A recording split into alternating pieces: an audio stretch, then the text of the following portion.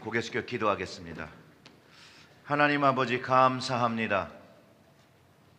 오늘도 이렇게 말씀 들을 수 있도록 우리의 환경, 우리의 삶 모든 것들을 이끌어 주시고 이 자리까지 인도해 주신 것에 감사와 찬양을 드립니다. 특별히 이 시간 간절히 간구하는 것은 주님께서 친히 우리 심령에 말씀하여 주셔서 하나님께서 택하시고 우리를 거룩하게 하시고 우리를 사랑하신 그 모든 일들이 깨달아지고 경험될 수 있도록 성령님 이 말씀 듣는 시간 우리의 심령을 주장하여 주시옵소서. 이 모든 말씀 우리 구주 예수님의 이름으로 기도드렸습니다. 아멘. 아멘. 사랑하는 성도 여러분, 하나님은 참 이해하기가 어렵습니다. 그리고 아주 신비로우신 분입니다. 그래서 그런지 하나님의 뜻을 알기가 쉽지가 않죠. 그럼에도 불구하고 어떤 일들은 시간이 지나고 나면 하나님의 뜻이 깨달아지기도 하고 이해되어지기도 하고 또 그 당시에는 잘 알 수 없었던 것들이 또 인정하지 못하고 받아들이지 못했던 것들이 받아들여지고 인정되어지는 것이 되어집니다. 그러면서 하나님께서 그 당시 실제로 내 삶에 내 삶에 동행하신 것과 은혜 베푸신 것을 알게 되어서 그 하나님의 사랑과 은혜를 고백하면서 찬양하게 되고 감사하게 된다라는 것이에요. 우리 하나님은 전능하시고요. 신비로우신 분이나 우리에게는 은혜와 사랑과 축복을 베푸시는 하늘에 계신 우리 아버지이십니다. 아멘.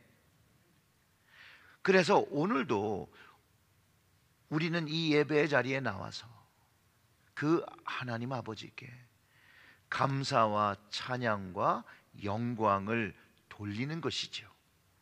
오늘 본문의 말씀을 읽어보면 이렇게 표현하고 있습니다. 그러므로 너희는 하나님이 택하사 거룩하고 사랑받는 자처럼 긍휼과 자비와 겸손과 온유와 오래 참음을 옷 입고라고 가르쳐 주고 있습니다. 하나님을 믿는 자는 하나님의 택하심을 얻었고 그리고 하나님께서 거룩하게 하시고 사랑받는 자였다라고 가르쳐 주고 있다라는 것이에요. 여기서 우리가 알 수 있는 것은 하나님의 선택은 우리를 거룩하게 만드셨다라는 것을 우리는 알 수 있다라는 거예요. 거룩하게 만드신 거로 한 번으로 끝나는 것이 아니라 하나님은 계속해서 우리를 거룩하게 만들어 가지고 계시다라는 것도 깨닫게 됩니다.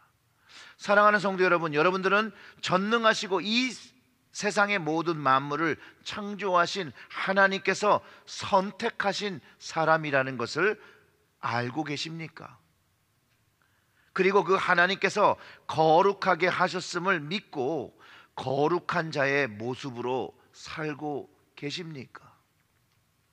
오늘 본문 말고도 다른 성경에 하나님이 우리를 택하셨다는 말씀이 여러 곳에 기록되어 있는데 그 중에 제가 제일 좋아하는 말씀은 에베소서의 말씀입니다.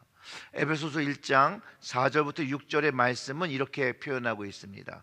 곧 창세 전에 그리스도 안에서 우리를 택하사 우리로 사랑 안에서 그 앞에 거룩하고 흠이 없게 하시려고 그 기쁘신 뜻대로 우리를 예정하사 예수 그리스도로 말미암아 자기의 아들들이 되게 하셨으니 이는 그가 사랑하시는 자 안에서 우리에게 거저 주신 바 그 은혜의 영광을 찬송하게 하려 하는 것이라. 아멘. 이 에베소서의 말씀은 골로새서의 말씀과 아주 유사하죠. 오늘 보면 골로새서에는 너희는 하나님이 택하사 에베소서의 말씀은 하나님께서 창세전 이미 그리스도 안에서 우리를 택하셨고 사랑 안에서 십자가의 사랑으로 우리를 거룩하게 구분지었다라고 말씀하고 있다라는 거예요. 사랑으로 우리를 거룩하게 만드셨다라는 거죠. 그래서 사랑받은 자라고 표현하고 있는 것이에요. 그리고 하나님께서 선택하신 사람들, 즉 구원받은 사람들 우리에게 거룩한 자가 되라고 말씀을 통해서 예수님도 말씀하시고 계속해서 말씀하고 계시다라는 거예요. 베드로전서 1장 15절과 16절의 말씀을 참고하면 이렇게 얘기하죠. 오직 너희를 부르신 거룩한 이처럼 너희도 모든 행실에 거룩한 자가 되라. 기록되었으되 내가 거룩하니 너희도 거룩할지어다 하셨느니라. 아멘. 사랑하는 성도 여러분, 우리를 택하신 하나님은 거룩하시며 의로우시며 영원하신 하나님이시고 말씀만으로 천지 모든 만물을 창조하신 하나님인데 우리가 보고 경험하는 그 모든 것에 그 생명들을 태동하게 하시고 그 생명을 연장시키는 생명의 근원 되신 하나님께서 내가 거룩하니 너희도 거룩하라 라고 말씀하신다라는 거예요. 하나님은 우리 모두에게 거룩하라고 하셨다라는 것이죠. 그것도 모든 행실에 거룩한 자가 되라고 하시니 이거 마음의 부담감도 많이 느껴지고 아니 불가능한 거 아니야? 라고 생각이 되어집니다. 그렇죠. 그런데 현실은 그렇지 않다라는 거예요. 거룩한 자가 되는 것은 불가능한 것이 아니라는 것을 오늘 본문에서 가르쳐 주는 것이죠. 왜냐하면 우리 전능하신 하나님께서 모든 것을 가능케 하시는 우리 주님이라는 것이에요. 그래서 가능한 거라는 거예요. 내가 무언가 하려고 하면 이게 가능하지가 않지요. 하지만 주님이 하시니 가능해진다라는 거예요. 하나님께서 우리에게 절대적인 거룩을 요구하시는 것이 아니라 상대적인 거룩. 하나님이 거룩하시기 때문에 그 거룩하라는 말씀을 순종하며 되려고 충성하며 노력하며 사는 그 모습을 바라시는 것으로 저는 이해를 합니다. 그렇다면 내가 하나님을 향해 거룩함을 가지고 살려고 노력하며 충성하는 그 모습을 내가 가지고 있다라면 하나님 앞에 온전히 설 수 있다라는 것이죠. 금방 말씀드린 것처럼 우리 하나님께는 불가능이 없습니다. 하나님이 선택하시면 한 사람으로 한 민족을 이루게 하셨고 하나님께서 이끄시면 그곳이 광야일지라도 축복의 장소로 변해집니다. 노예된 이스라엘을 강대국 이집트에서 구원하시고 약속의 땅으로 이끌어 주시기도 하셨고요. 하나님의 말씀을 믿고 하나님이 원하시는 대로 하니 멀쩡히 서 있던 여리고성이 무너지기도 했다라는 것이에요. 늘 하나님의 백성을 위하여 사사를 보내주시고 어려울 때마다 구원해 주시고 자기 백성을 자신의 자녀들을 돌보신 하나님인 것을 성경을 통해서 가르쳐 주고 있습니다. 가난한 자들과 연약한 자들 또 고아들을 아주 불쌍히 여기시고 돌보셨던 하나님이고 지금도 그런 하나님이라는 거예요. 그리고 그 하나님께서 택하신 사람을 거룩하게 하시고 사랑하시는 하나님이라는 것이에요. 이 하나님의 사랑을 경험하면 경험할수록 우리는 거룩하게 변화된다는 거예요. 하나님을 더 경험하면 경험할수록 하나님의 사랑과 은혜를 경험하면 경험할수록 우리는 거룩한 모습을 가지고 살아가게 된다라는 거예요. 하나님의 선택하심이 궁극적으로 우리를 거룩한 모습으로 이끌고 계시고 거룩한 나라로 이끌고 계시고 있다라는 것을 이해할 수 있게 됩니다. 우리의 삶이 더 주님 앞에 거룩하게 변하, 변하게 되고 나 스스로도 주님 앞에 거룩한 모습으로 서, 서기 위해서 노력과 충성을 다하는 삶을 지향하기 지향한다라는 것이에요.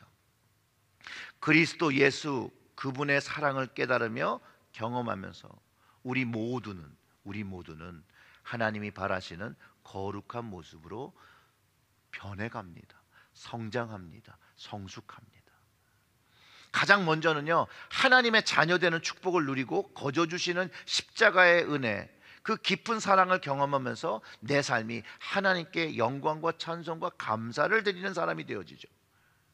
즉 하나님의 사랑을 받은 사람이면 세상의 사람들과 구분되어지는 삶이 있는데 바로 그 이것이라는 거예요. 하나님의 사랑을 받은 자와 받지 못한 자의 삶에 그 명확한 분명한 구분이 있는데 그 구분이 바로 거룩 그리고 사랑입니다. 바로 거룩과 사랑을 받은 자는 주님의 옷을 입는다라고 가르쳐 주는 것이죠. 주님의 말씀이고 명령이기 때문에 그래요. 그리고 이 옷을 입은 자가 거룩하게 된 사람이라는 것을 알 수 있게 됩니다. 이 주님의 옷을 입는 사람은 정욕을 위하여 육신의 일을 도모하지 않는 사람입니다. 즉 주님의 옷을 입은 사람은 오늘 본문의 말씀처럼 긍일과 자비와 겸손과 온유와 오래 참음의 옷 영적인 그 일을 도모하는 사람이 되고 영적인 옷을 내 삶에 입으려고 내 가정에 입히려고 하는 사람이 된다라는 것이죠. 다시 본문 12절의 말씀을 우리 함께 좀 읽어 보겠습니다.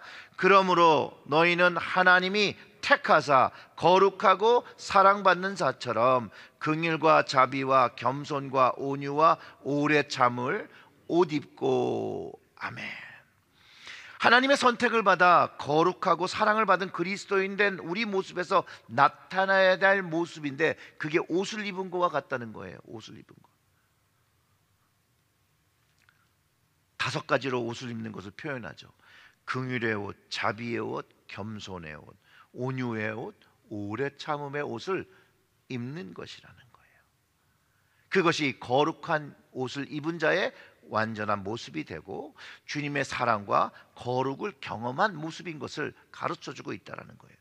그러니 내 삶에 긍휼과 자비와 겸손과 온유와 오래 참음의 모습이 보여져야 한다는 얘기하고 있다라는 것이죠. 즉 주님의 사랑은 우리로 하여금 이 거룩의 옷을 입게 한다라는 거예요. 주님의 사랑을 경험하면 이 말씀에서 요구하고 있는 이 옷들을 한 가지씩 한 가지씩 입기 시작하는 것이에요. 그런데 현실은 우리가 옷 입을 때 각자마다 취향이 다 있다라는 것이에요. 좋아하는 것이 다른데 오늘 말씀에 하면 하나님의 선택을 받은 사람은 이 거룩의 옷을 입어야 한다는 사실을 가르쳐 주고 있다라는 거예요.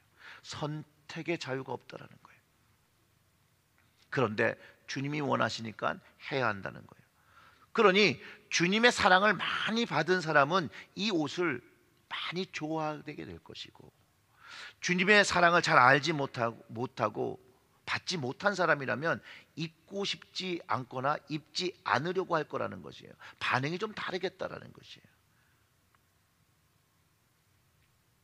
오늘 본문에서 옷이란 말을 사용하는 것은 주님의 거룩과 사랑의 공동체를 위한 위한 그 단일성과 협동성과 응집력과 방향성을 말하기 위해서 이런 예를 들고 있다라고 저는 이해를 합니다.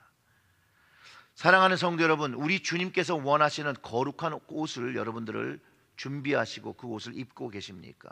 아니면 내가 원하는 색깔, 내가 원하는 그 패션의 옷을 입고 계십니까?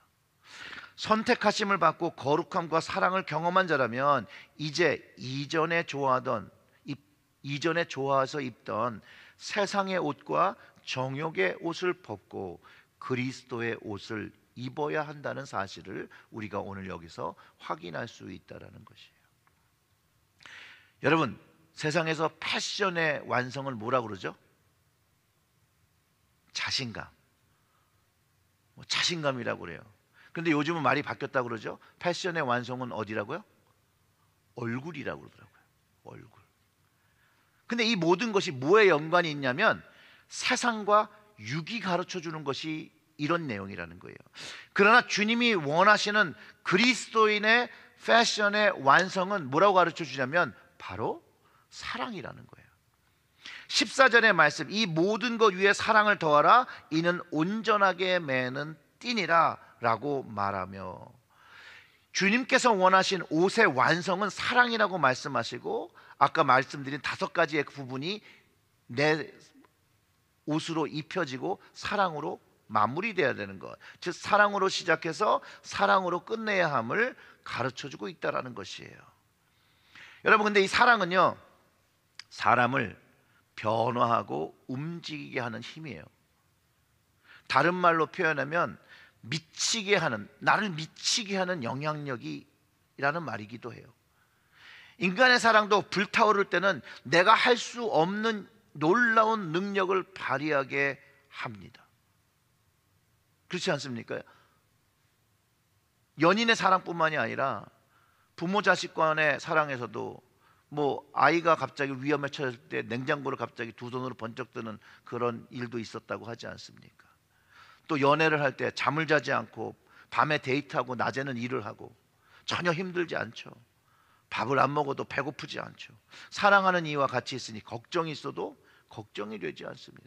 사랑의 힘이라고 그러잖아요. 이와 같이 인간의 사랑도 이런데 주님의 사랑을 받으면 즉 주, 주님을 사랑해 받고 주님을 사랑하면 하나님과 예수님 그 사랑에 미치면 또 말릴 수가 없어요. 물론 사람마다 정도의 차이를 가질 수 있습니다. 주님을 사랑함 주님의 사랑을 알면서 이제 이 거룩한 옷을 선택하기 시작한다는 거예요. 한 커플 한 커플 입기 시작한다는 거예요. 영적인 삶을 선택하며 살기 시작하게 되는 것이 내 삶에서 되어진다라는 것이죠. 예를 들면요. 주님과 첫사랑에 빠졌을 때 그 이전에 좋아하고 아 이게 내 인생에 없으면 나는 어떻게 살까 라고 했던 것들 내 입으로 스스로 이야기한 것들이 더 이상 좋아지지 않고 내 삶에서 버려지게 되는 것들을 경험했다라는 것이죠. 이런 경험은요, 저만 한 것이 아니라 여러분들도 다 하신 경험일 거라는 것이에요. 저의 같은 경우죠. 저의 같은 경우에는 주님의 사랑을 진짜 진하게 경험해야 되는 순간, 교회를 다녔어요. 근데 그전엔 그런 사랑을 받지 못했는데 그 주님의 사랑을 받은 그 후에 처음 생각한 게 뭘 버려야 된다고 생각했을까요? 저에게는 술과 담배였습니다. 교회를 다니면서요, 술, 담배 하는 거 전혀 문제된다고 저는 생각했어요. 문제 안 된다고 생각했어요. 고민, 일도 안 했어요. 주님께서 주신 말씀이 있었어요. 입으로 들어가는 것이 사람을 더럽게 하는 것이 아니라 입에서 나오는 것이 더럽게 하는 것이라는 말씀을 어느 순간에 듣고 아멘으로 제가 화답을 했다니까요. 할렐루야. 그런데 주님의 사랑을 깊게 경험하고 나니 그 사랑하는 주님께서 이렇게 말씀하시더라고요. 그만해. 건강에 좋지 않아. 그리고 덕스럽지도 않아. 라고 할 때, 아, 더 이상 하면 안 되겠구나. 그렇다고 쉽게 끊어진 거냐? 아니에요. 저는 어떤 분들이 간증하실 때 예수 믿고선 이런 게 그냥 그날로 해결됐다라고 하시는 분들이 참 이해가 안 됐어요. 저는 되게 어려웠거든요. 시간도 오래 걸렸어요. 아니 온갖 주변에 있는 친구들이 다 술 먹고 담배 피고 당구 치고 다 하는 사람들인데 이 사람을 끊지 않으면 이게 끊어지지가 않는데 이게 어렵더라는 거예요. 그러나 어느 날 주님께서 이런 마음을 주셨습니다. 너 내 길을 걸어간다며 하나님의 말씀을 전하는 사람이 될 거라며 어떡하려고 그래? 라는 말씀에 이제 순종하기 시작했습니다. 또 예수님의 그 사랑을 많이 받고 제가 두 번째로 버려야 된다고 생각이 든 것은 세상의 음악을 좋아하는 겁니다. 세상의 음악. 그 당시 제가 너무 음악을 좋아했어요. 저는 세상의 음악을 너무 좋아해서 음악도 들으는 장소가 따로 정해져 있었어요. 나이트 클럽. 아, 클럽에 들어가면 들어갈 때 보면요. 여러분들 모르시는 분은 알 수 없지만 좋아하시는 분들은요. 이 클럽에 그 안에 들어갈 때 그 소리가 조그맣게 시- 저기 밖에 길거리부터 들려요. 그 점점 점점 가까울수록 어떤 소리가 들리는 줄 아십니까? 베이스 소리가 들려요. 음, 음, 음, 음. 그리고 그 계단을 내려가면 이 소리가 점점 커져요. 그러면서 문을 열고 딱 들어가면 신세계를 맞이하는 거죠. 막 소리가 큰 그 음악 소리와 그 지축을 울리면서 들어가면 그 모- 음악 소리가 몸을 휘어 감는다라고 할까요? 그러면서 그 음악의 박자와 그 그룹을 타면서 이제 들어가는 거 자리에 앉는 거죠. 그런데 주님의 사랑을 깊게 경험, 경험하니까 이 세상의 음악이 그렇게 좋지가 않더라고요. 그것보다는 찬양 소리가 즐겁고 찬송 소리가 즐겁고 이것을 더 좋아하는 시간이 늘어나고 늘어나고 늘어나고 늘어나니 세상을 세상의 음악을 좋아하던 삶이 이렇게 멀어져 버렸다라는 것이죠. 그리고 세 번째로 없어져야 한다라고 생각한 것이 뭐냐면요. 저에게 있어는 혈기예요. 혈기. 욱 하는 성질이 좀 있었어서 물론 지금도 그렇게 온유하지 않습니다. 온유하다는 말은 제가 설명드리면 화가 나도 내가 옳고 성질을 낼 수 있어도 참는 것. 이제 그게 온유죠. 예전보다는 혈기가 많이 빠졌습니다. 그런데 혈기는 어떻게 죽느냐? 그냥 참는 거예요. 오래 참는 거예요. 바로 대응하지 않고 내일까지 기다리고 내일도 참고 그 모레까지 기다리고 그러면서 하나님의 뜻을 참는 것. 그게 온유한 성품인 걸 나중에 알았어요. 그리고 뭔가 이것이 억울한데 이걸 어떻게 해야지? 그래서 푸는 것이 아니라 뭔가 억울함을 느낄 때에 주님을 떠올리는 거죠. 아, 십자가를 지는 거구나. 예수님도 십자가 질 때 많이 억울하셨을 텐데 나도 이 억울한 상황을 품고 십자가를 지는 것으로 해야 되는 것이구나. 그런 마음을 주실 때 제 삶에 혈기가 다스려지기 시작했다라는 거예요. 근데 이걸 다시 돌아보니까 이게 육적인 것들을 벗어버리게 되는 것이더라고요. 육에 대한 것들을 벗어버리게 되니까 그 다음부터는 영적인 것을 입을 수 있게 되는 것을 경험했습니다. 즉그 주님의 옷, 그 거룩의 옷을 입게 되는 것들을 경험했죠. 그 다음에 또 바뀐 게 있어요. 아마 여러분에게도 이런 은혜가 임하시길 주님의 이름으로 축원합니다. 세상에 그 주님의 사랑을 그렇게 받기 전에는 세상에 그렇게 지겹고 재미없던 우리 목사님 설교가 그 당시에는 무슨 내용인지도 잘 이해되지 않아서 힘들었던 그 시간이 갑자기 좋아지는 거예요. 갑자기.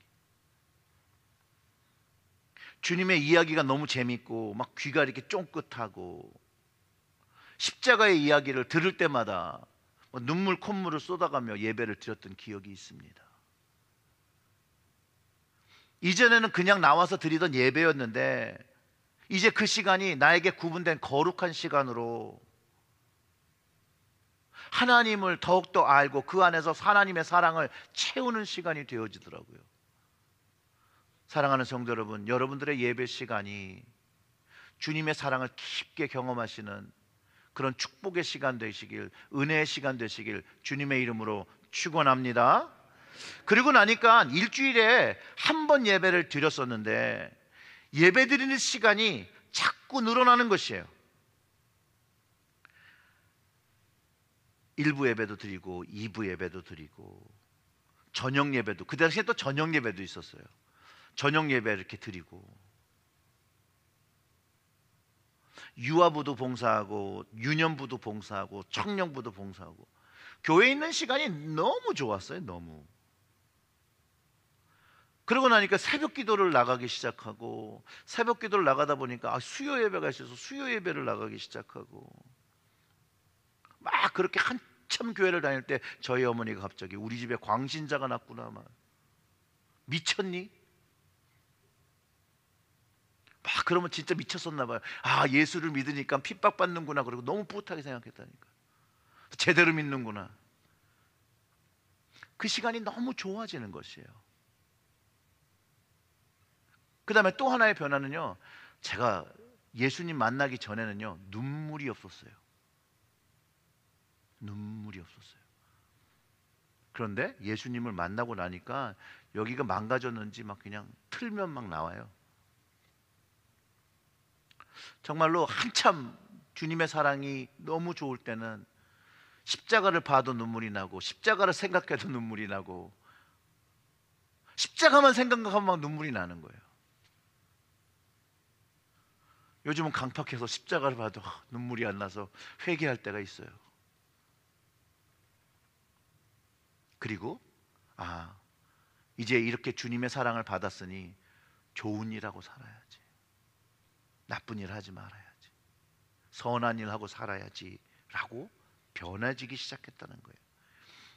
여러분, 주님의 사랑은요. 그냥 복음을 들은 게 아니었어요, 저에게는. 제 마음이 완전히 불 불질러진 저와 주님의 그런 사랑이었어요.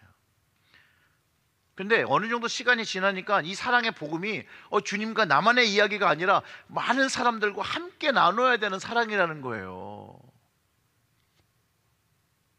그리고 하나님의 이 주님의 사랑을 받은 자로서 감당해야 되는 일이 있다는 것을 알기 시작하면서 나의 이기적인 마음이 성령님이 주시는 마음과 이제 막 싸우기 시작하는 거예요. 영적인 전쟁이 일어나기 시작하는 거예요. 왜냐하면 나에게는 스스로 한없이 관대하고 주님의 사랑을 받는 건 너무나도 당연한 일이고 괜찮은 일이 되어졌는데 이것이 이제 남에게 베풀어져야 한다는 것이에요. 다른 사람들과 함께 해야 되는 것이라는 것을 알기 시작했을 때 시험 받기 시작하고 신앙의 힘듦이 영적인 어려움이 다가오고 불순종의 신앙의 길을 걷기 시작한 시기도 하다라는 거예요. 하나님께서 나를 용서하시는 것은 너무나도 당연한 일처럼 여기고 다른 사람을 용서하고 받아들이는 것은 얼마나 힘들어했는지 몰라요. 분명히 허물도 많고 죄도 많은 사람이고 그 용서를 받아서 너무 은혜 받았다고 하는데 다른 사람의 허물과 죄를 용서하기엔 너무나도 어려웠기에 그 마음엔 항상 다른 사람에 대한 비난과 비판의 마음이 가득 찼던 시간도 있었다라는 것이에요.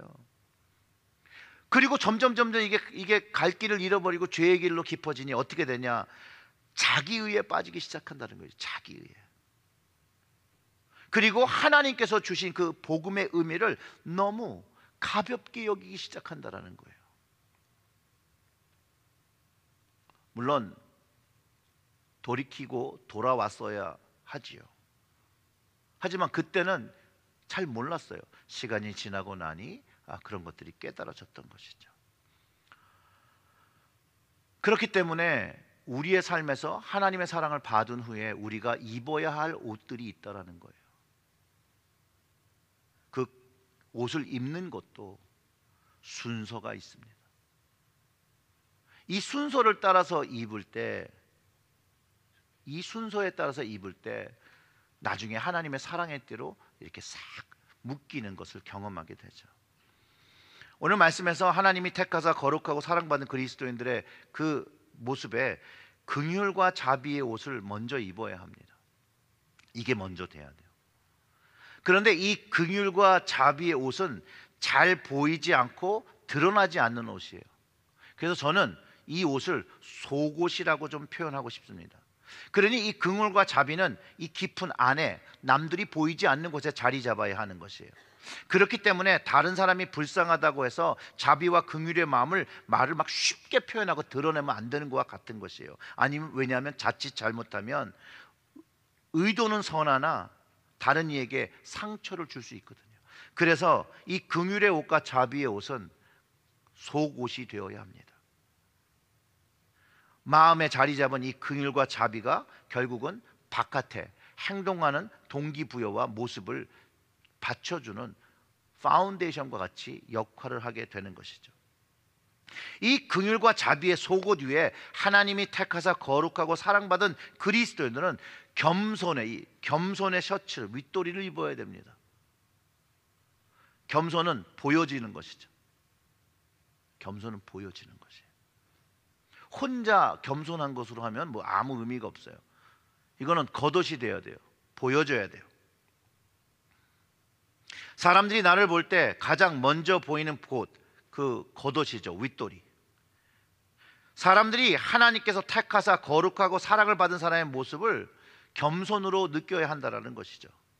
그리고 그 겸손의 윗도리에 온유와 오래 참음의 아랫도리, 하의를 바지 또는 치마를 입어야 한다는 것이에요.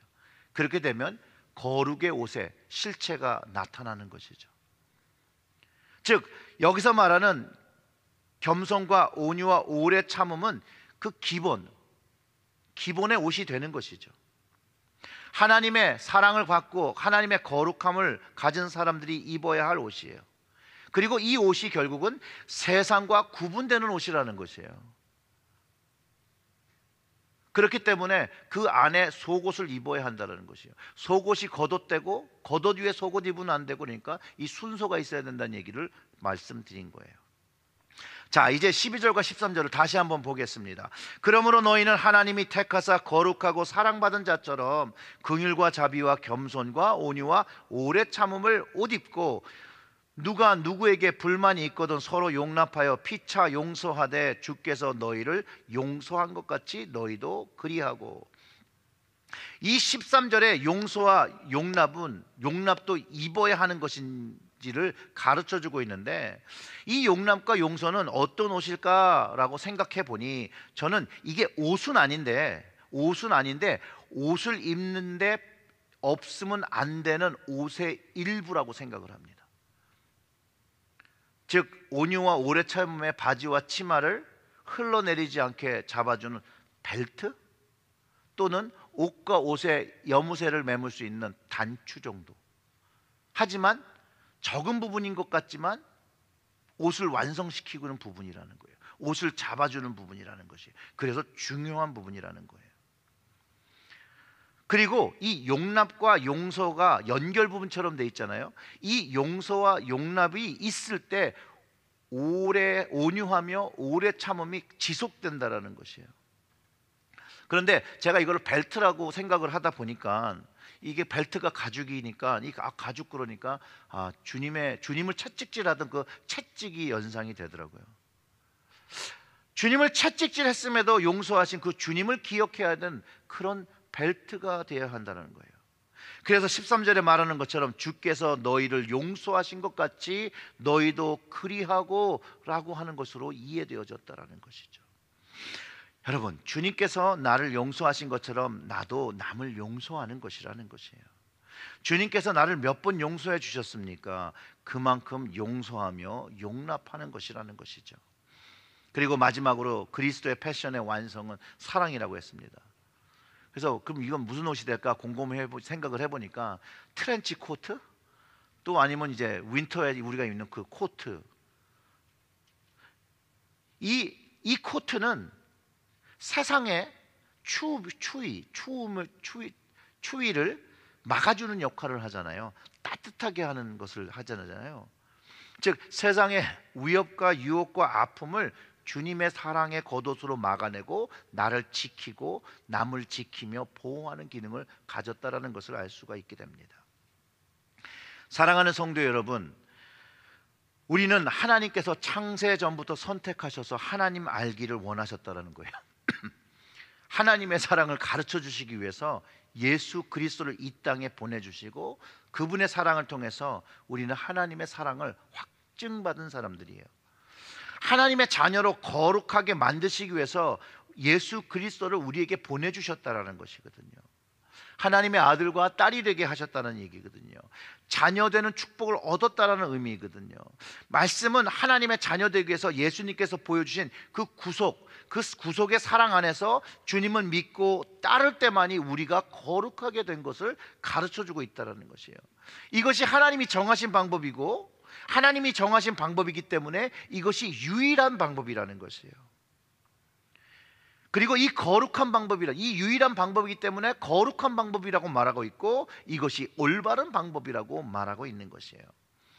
하나님이 택하신 방법을 믿으며 사는 사람이 되어야 함을 가르쳐 주는 것이죠. 그것이 거룩한 사람이며 하나님의 사랑을 받은 사람으로 거룩하고 사랑을 받은 합당한 사람의 옷을 입고 주님을 섬기는 제사장이 된 것이라는 것이에요. 자, 하나님께서 구약의 제사장에도 옷을 요구하셨습니다. 제사장들이 입는 옷들이 따로 준비되어 있었고 그 옷을 입는 방법도 순서가 있었습니다. 그 방법도 모두 가르쳐 주고 순종하라고 하셨죠. 우리 역시도 신약의 하나님의 거룩한 제사장입니다. 이 신약의 제사장은 제가 금방 말씀드렸던 것처럼 거룩의 옷, 주님의 옷을 입는 거예요.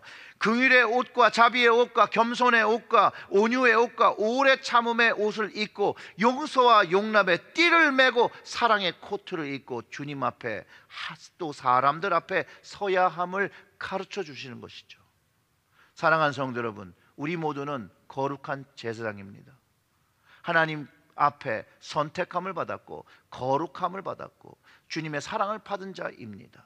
이제 거룩한 제사장으로서 세상과 구별되는 거룩의 옷을 입고 하나님께 영광과 찬송과 감사를 올려드리시는 여러분들 되시기를 주님의 이름으로 축원합니다. 아멘. 우리 기도하겠습니다.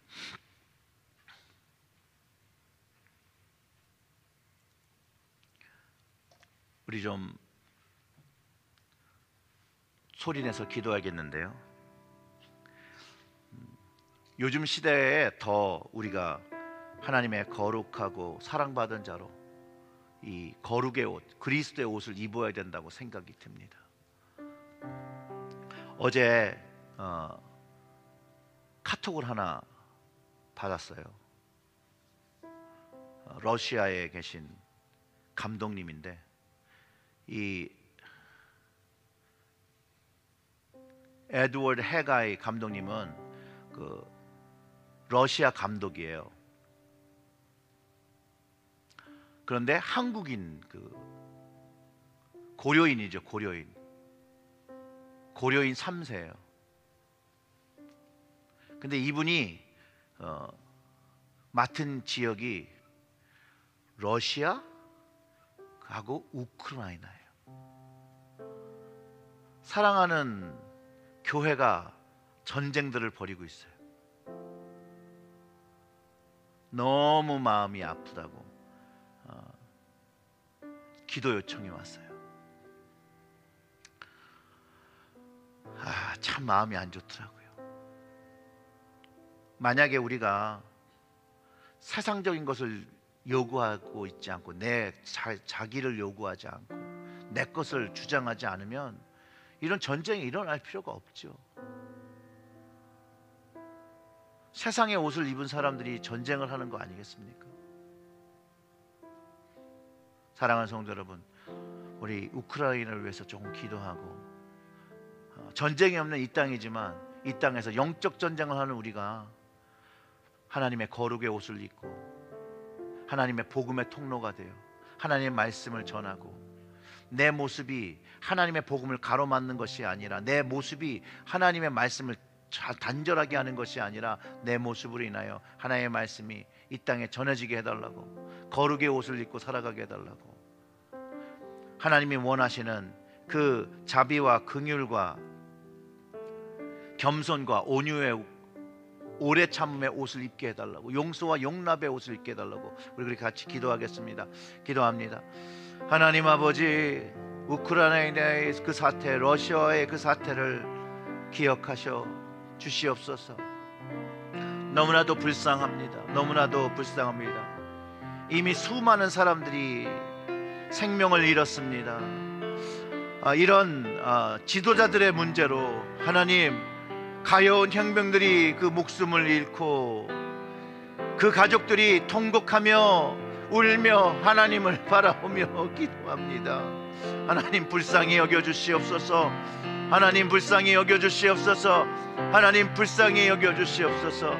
하나님 그 나라에 군복을 입은 사람이 늘어나는 것이 아니라 주님의 옷을 입은 자들이 거룩의 옷을 입은 자들이 하나님 나타나게 하여 주시옵소서. 생명의 옷을 주시옵소서. 구원의 옷을 주시옵소서 하나님. 전쟁의 공포에서 하나님 하나님 나타나셔서 그들의 마음을 사로잡아 주시고 하나님 그들을 구원하여 주시옵소서. 이 시간에 하나님 그 나라의 친히 낭망한 사람들을 찾아가셔서 그 괴로워하고 아파하고 힘들어하는 그 마음들을 주장하여 주시옵소서. 러시아와 우크라이나의 하나님 목회자들을 하나님